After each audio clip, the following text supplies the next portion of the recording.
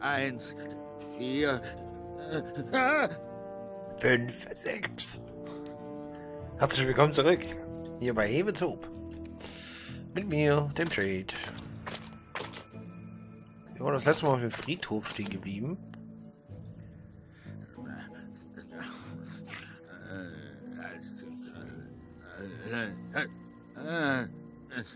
Eins, vier! Sieht nicht besonders freundlich aus und er scheint auch nicht besonders gut zu schlafen. Außerdem brabbelt er irgendwas im Schlaf vor sich hin. Er wacht aber immer wieder auf, bevor man verstehen kann, was er sagt. Aha. Ich bin jetzt so aufgestützt auf eine Schaufel zu schlafen. Hallo, ich bin... Hau ab! Was? Aber... Ich arbeite. Siehst du das nicht? Aber du stehst doch hier nur. Nein, ich warte. Ist Warten nicht dasselbe wie rumstehen? Ich bin Friedhofswärter. Äh, Wärter. Deshalb warte ich. Das ist mein Job. Friedhofswarter. Worauf wartest du denn? Dass jemand stirbt. Oh, Kundschaft quasi. lässt du mich auf den Friedhof? Auf gar keinen Fall. So wird das wohl nichts.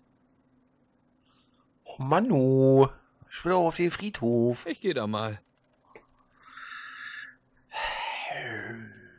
Friedhofserde. Eindeutig.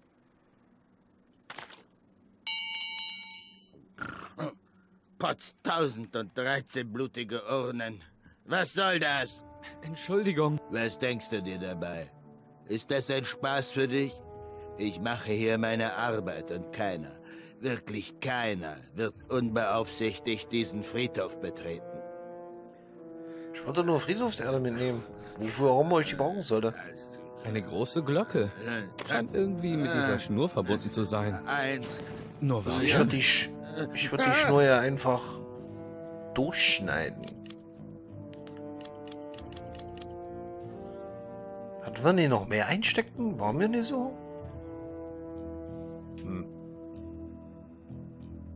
Ein schweres Zahlenschloss. Da soll wohl niemand rein.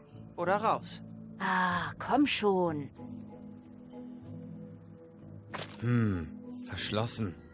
Und irgendwelche Zahlen bei dem Zahlenschloss auszuprobieren, macht wohl keinen Sinn. Ja, gut. Was war denn hier noch? Der Friedhof. Da bestatten diese Erdlinge wohl ihre Toten. Eins, vier, ah! Eine Laterne. Spendet Licht. Sag bloß. ja, ja. Gut, nichts weiter Interessantes, habe ich das Gefühl. Nochmal. Ein Spaten oder eine Schaufel. Hm. Was war da nochmal der Unterschied? Mit dem einen kannst du, glaube ich, umgraben und mit dem anderen kannst du schaufeln. Da Oh, komme ich noch nicht was. dran. Ja, was haben wir denn hier noch? Hier Stattliche so, Hütte. Vielleicht etwas schlechte Gegend, aber hm, die Fassade ist schön. Na gut. vier,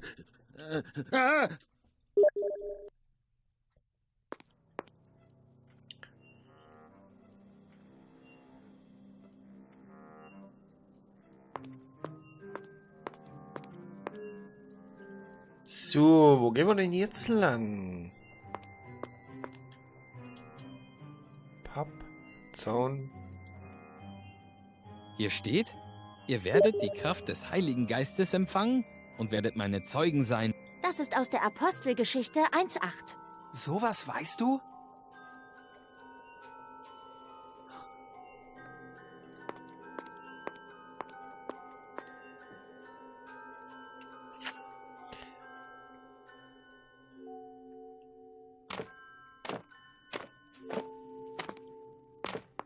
Da ist wieder der Lampenanzünder. Und wir müssen ja noch immer irgendwas anstellen.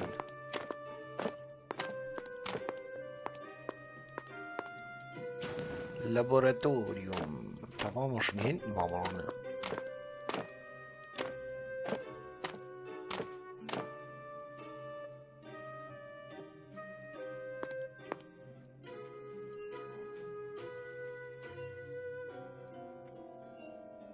Was ist denn das? Ein Schild. Hier steht, Achtung, Grimassen schneiden verboten.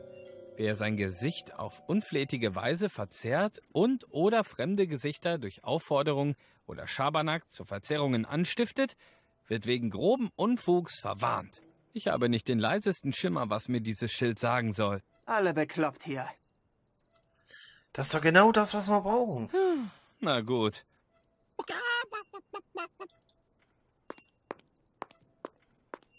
Oh je.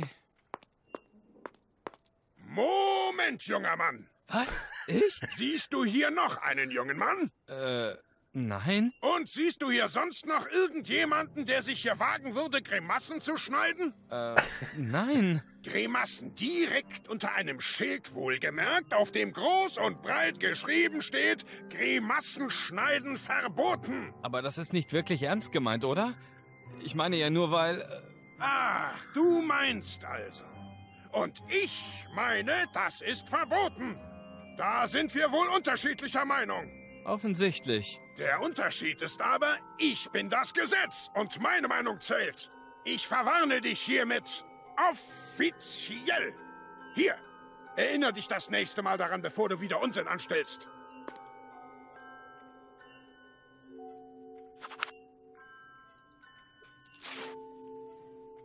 Ein Strafzettel. Ja, geile Scheiße. Jetzt habe ich ganz offiziell das Gesetz übertreten. Na toll. Du Outlaw. Jetzt brauchst du nur noch einen schwarzen Hut und eine Bande Halsabschneider. Du Outlaw. Eine alte Pumpe. Eine alte Pumpe. Scheint ein Ladenschild zu sein. Mit den Initialen EC. Hm. Auf dem Ladenschild steht ML. Und es ist ein Drache darauf. Was das wohl zu... Ich bin jetzt erstmal gewillt, äh, der Clean das, dieses, diesen Zettel zu zeigen.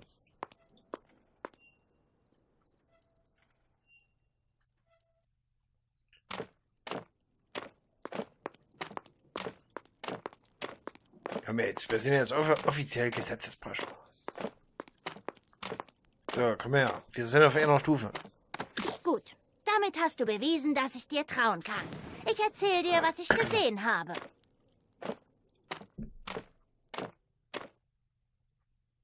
Diese Greta kam gestern aus Blumfords Haus und hat sich mal wieder wie wild aufgeregt und die ganze Zeit diesen McCallum angeschrien. Wild gestikuliert hat sie. Und dabei hatte sie die ganze Zeit diesen komischen großen Zettel mit den seltsamen Zeichen drauf in der Hand. Dann ist sie zum Scheiterhaufen marschiert.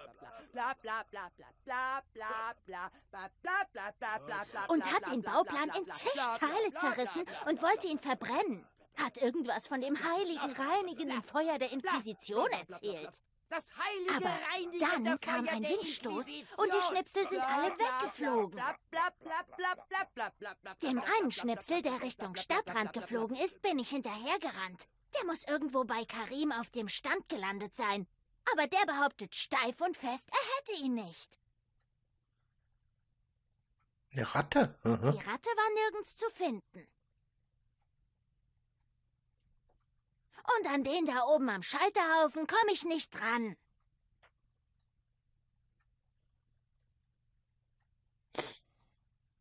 Wow, Ja, diese Greta ist wirklich... Eine Furie? Der sollten wir unbedingt aus dem Weg gehen. Ich befürchte, die könnte uns wirklich gefährlich werden. Immerhin wissen wir jetzt, wo die Schnipsel des Bauplans hin sind. Und sieh mal, da oben an diesem Pranger hängt der eine Schnipsel auch noch. Kommen wir aber nicht ran. Selbst wir, ne? Denke ich. Ah, das muss einer der drei Teile vom Bauplan sein. Nur, wie komme ich da dran? Hat in den zig Schnipsel zerrupft, ne? Und daraus sind dann nur drei Stücke. Das sind nur aus diesen in zig Teile sind drei Stücke rausgekommen. Drei Schnipsel. Ist irgendwie schräg. Da komme ich nicht dran. Ja, das war mir schon klar. Wie kommen wir denn hier ran? Ich Hä? kann sie unmöglich durch dieses Feuer schicken. Das ist viel zu heiß für sie.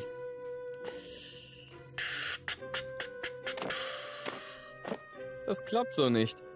Ich? Das klappt so nicht. Ja, senken.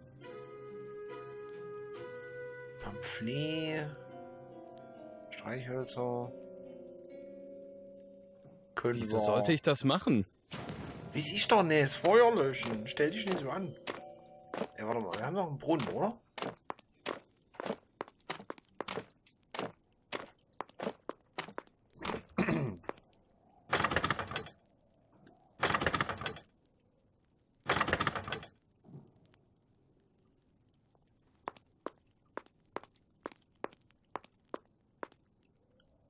Du sollst dir den Wasser immer. Ein alter Eimer aus Holz.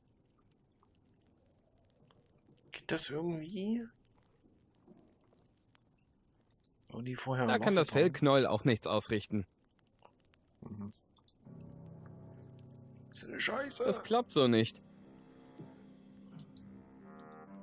Das klappt so nicht. Äh, wir müssen uns also was einfallen, anderes einfallen lassen. Der sieht, ähm, mitgenommen aus. Äh, hallo? Ich. Ich glaube, der will nicht mit dir reden. Ich weiß nicht, ob der reden kann. Ich will eigentlich nur das Da Schild steht. sehen. Dafür trage ich keine Peitsche. Hä? Da steht. Dafür trage ich keine Peitsche. Hä?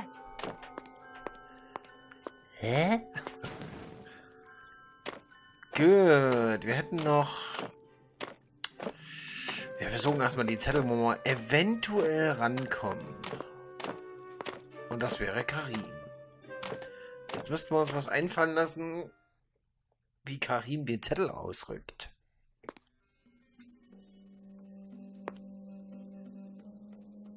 Hm. Ich weiß beim besten Willen nicht, wie ich das anstellen soll.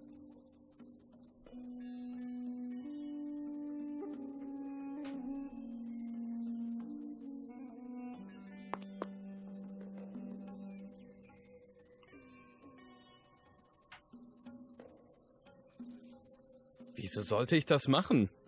Die Sterne.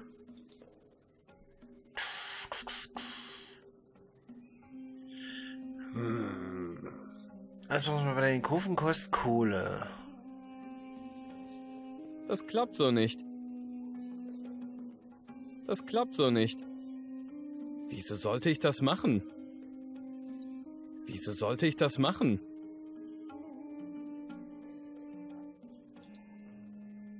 Das ist die Kundenliste von Karim, wo er genau drauf notiert, wer bei ihm. Darf ich mal sehen? Auf gar keinen Fall. Das ist betrifft. Hast du das gesehen? Was denn? Da, hinter dir. Ein dreiköpfiger Affe oder was? Nein, eine Ziege. Eine dreiköpfige Ziege? Nein, einfach eine Ziege. Ich leih sie mir mal aus. Aber nur kurz. Welch Zufall. Hey, Fendi. Da war keine Ziege. Oder habe ich sie verpasst? Du hast sie bestimmt verpasst. Alter. Einfach mal so ein Schatten. Eine dreiköpfige Ziege. So. Kundenliste, die ich äh, nur mal ausgeliehen habe. Hier steht, er hat bisher was von dem Koffeinshampoo an Bill, an Magnus und an Bartholomäus verkauft.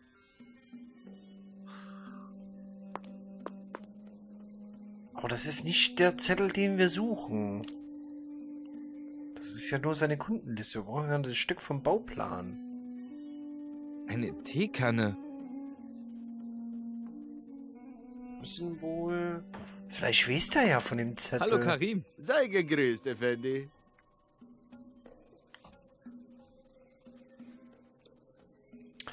Äh, ich suche Super, Zettel. ein Zettel, der hierher geflogen sein soll. Hast du vielleicht einen gefunden? Hör mir auf mit Zetteln, Effendi.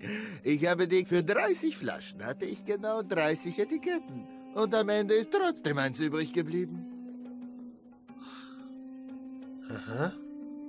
Vielleicht hast du die eine Flasche ohne Etikett verkauft? Vielleicht hast du eine Flasche ohne, ohne Etikett verkauft. Nee. Hä? Es ist ja Etikett übrig geblieben, du Eier, Eiermaler. Vielleicht hast du eine Flasche schon ohne Etikett verkauft, erinnerst dich aber nicht mehr daran. Nein, das kann nicht sein. Ich führe auf meiner Kundenliste ganz genau Buch darüber, wer bei mir etwas gekauft hat und ob er schon bezahlt hat.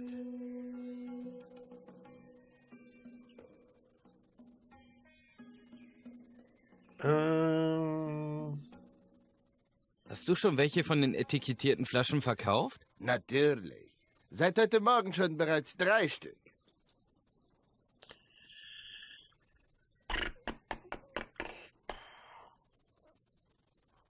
Was hast du denn im Angebot? Schau dich um, Effendi. Und falls dir etwas gefällt, ah, du willst bloß Kohle Ich geh dann mal. bis bald, Effendi. Gut, also wir haben seine Kundenliste auf jeden Fall. Wir wissen ja. Karims Kundenliste, die ich äh, nur mal ausgeliehen habe. Hier steht, er hat bisher was von dem Koffeinshampoo an Bill, an Magnus und an Bartholomäus verkauft. Magnus, Bill und Bartholomäus.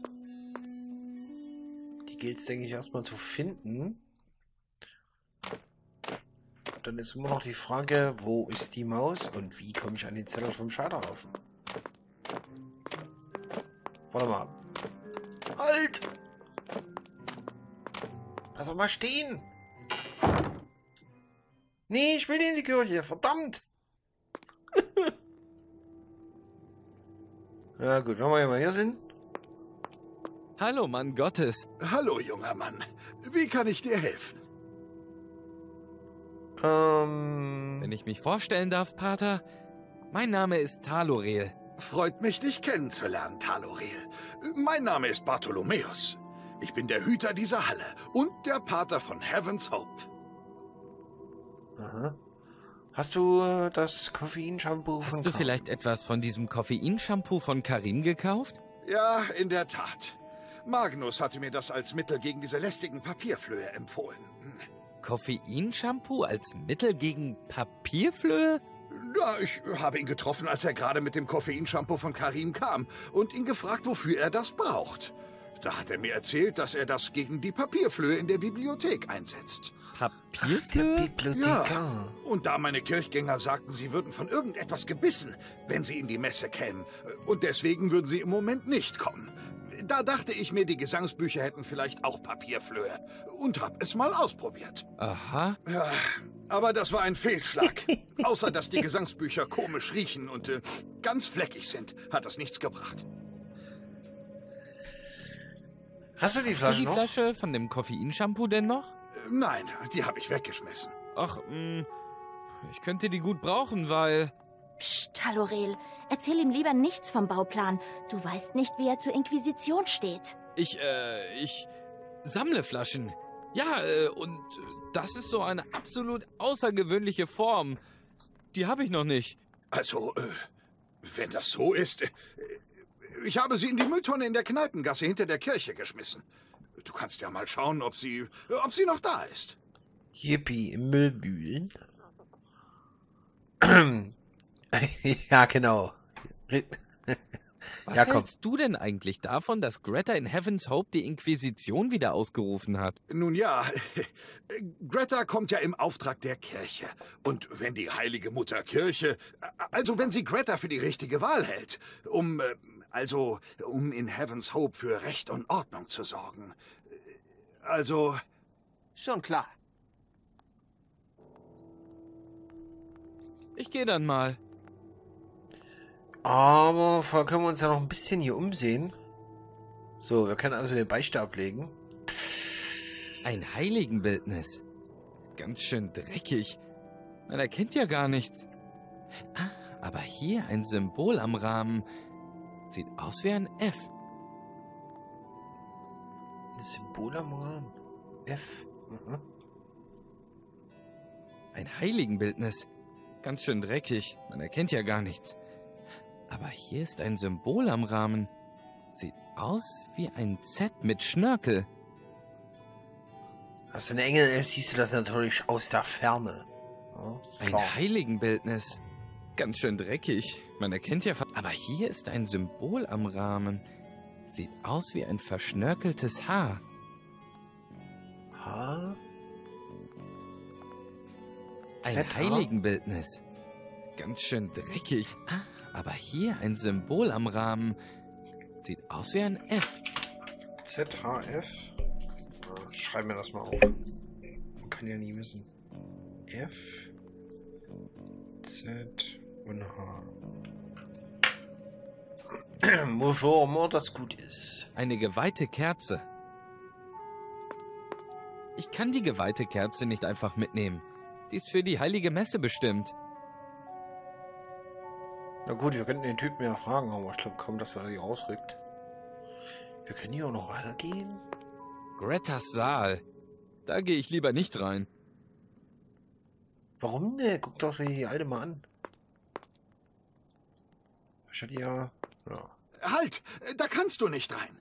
Da ist gerade eine Baustelle.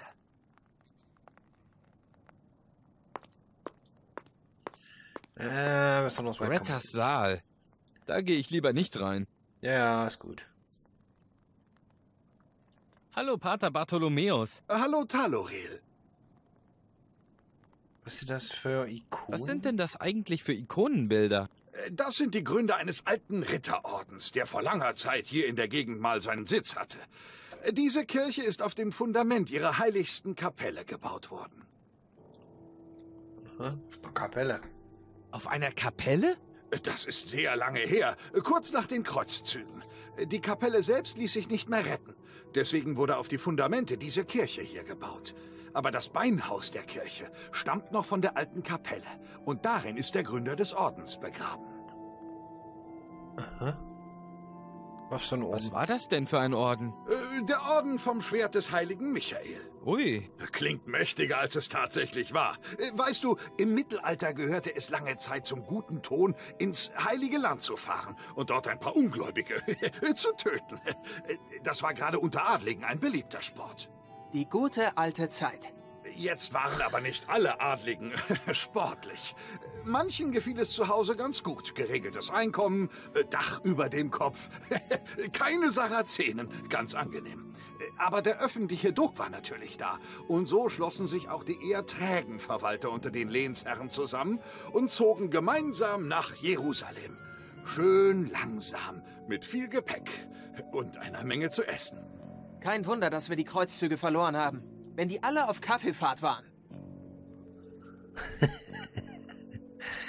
Was, was hat denn äh, dieser Orden der Kreuzritter mit dem Erzengel Michael zu was tun? hat das jetzt mit Michael zu tun? Tja, bei ihrer Rückkehr mussten die Ritter sich ja irgendwie interessant machen.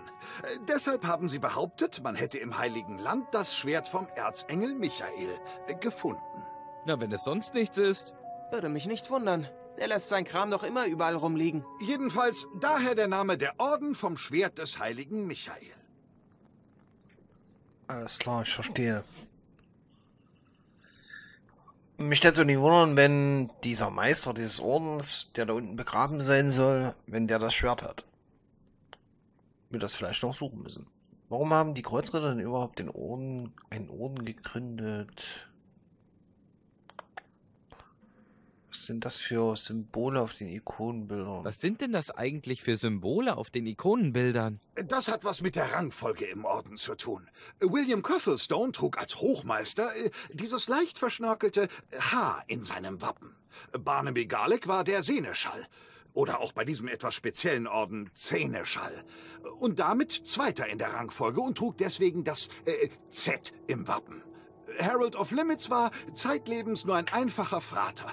Deswegen trug er das F im Wappen und war Dritter in der Rangfolge. Aha. So, haben notiert. 1, 2, 3. Äh, ja. Warum wurde der Orden denn Warum überhaupt haben gegründet? diese Kreuzritter denn überhaupt einen Orden gegründet? Ach, äh, vermutlich wegen der Steuer. Dann kann man die Raubzüge besser absetzen.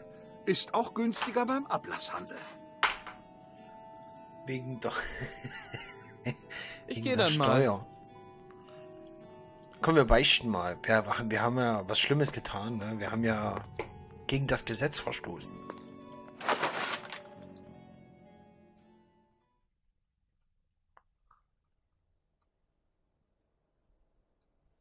Eine Holzklappe.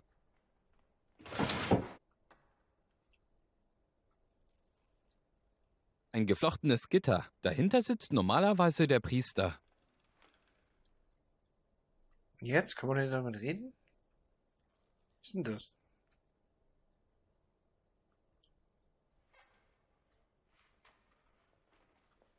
Hm.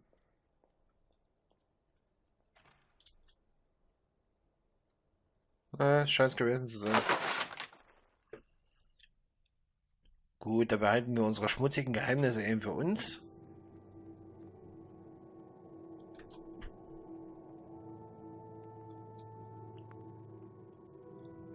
Gut, hier ist nichts weiter. Ich gehe jetzt wieder raus.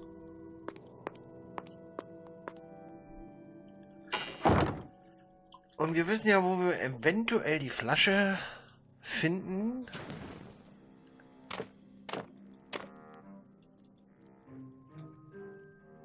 Nämlich in den Mülltonnen, in denen er vorher nie rumwühlen wollte. Vladic, du hast mir zugesagt, dass die Ware bis heute...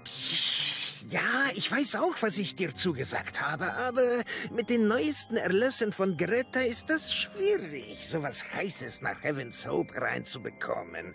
Es dauert länger und äh, kostet mehr Geld. Das war aber nicht unsere Vereinbarung. Ich weiß, aber die Lage ist nun mal wie sie ist. Und wenn du deinen Kunden gerne erklären möchtest, dass du keine Waren hast? Es ist doch immer wieder schön, mit dir Geschäfte zu machen. Lass mich wissen, wie viel mehr du brauchst. Du hörst von mir. Aha. Hallo, Reisender. Schönes Wetter heute, hä? Hm, ja. Ist das so? Was war das denn? Scheint, als würden die irgendwie etwas unsaubere Geschäfte machen. Ja, wenn ihnen alles verboten wird hier in der Stadt, was Oh willst du je. machen? Jetzt muss ich da wohl reingreifen. Vermutlich sind Müllwühlen auch verboten. Widerlich. Uah. Moment mal. Hier ist so ein seidiges Ding drin. Sieht aus wie das, was Pater Bartholomäus trägt. Vielleicht ist das ein altes Priestergewand vom Pater. Scheint auf jeden Fall aus Seide zu sein. Oh je. Moment, junger Mann. Was, ich? Siehst du hier noch einen jungen Mann? Nein, ich, äh, Und siehst du hier sonst noch jemanden, der in einer dieser Mülltonnen wühlt? äh, nein. In einer Mülltonne wohlgemerkt, über der ein großes und deutlich lesbares Schild hängt, auf dem groß und breit geschrieben steht, Das in den nicht gesehen. Mülltonnen wühlen verboten. Ja, tut mir leid. Es war nur. Unsinn! Es ist immer nur. Es ist aber auch immer nur eine Ausrede. Ich verwarne dich hiermit offiziell. Hier, erinnere dich das nächste Mal daran, bevor du wieder Unsinn anstellst. Noch ein Strafzettel, richtig geil.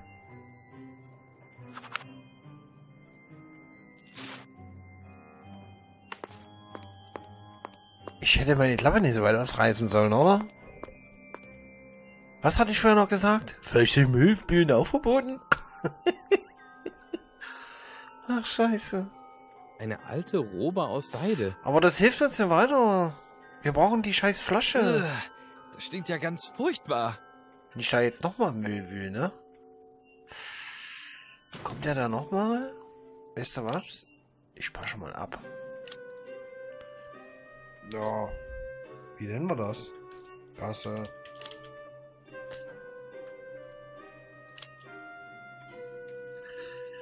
Und ob es sich lohnt, den Müll noch ein zweites Mal zu durchwühlen, das findet man leider erst in der nächsten Folge raus. Denn wir sind schon wieder an der Zeit. Ich verabschiede mich. Bis zum nächsten Mal, wenn ihr wieder einschaltet, wenn ihr mögt. Macht's gut. Tschüss.